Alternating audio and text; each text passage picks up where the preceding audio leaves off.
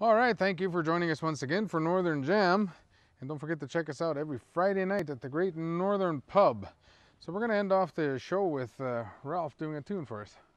All right, we'll call it uh, Old Drops of Brandy, I guess, from long ago.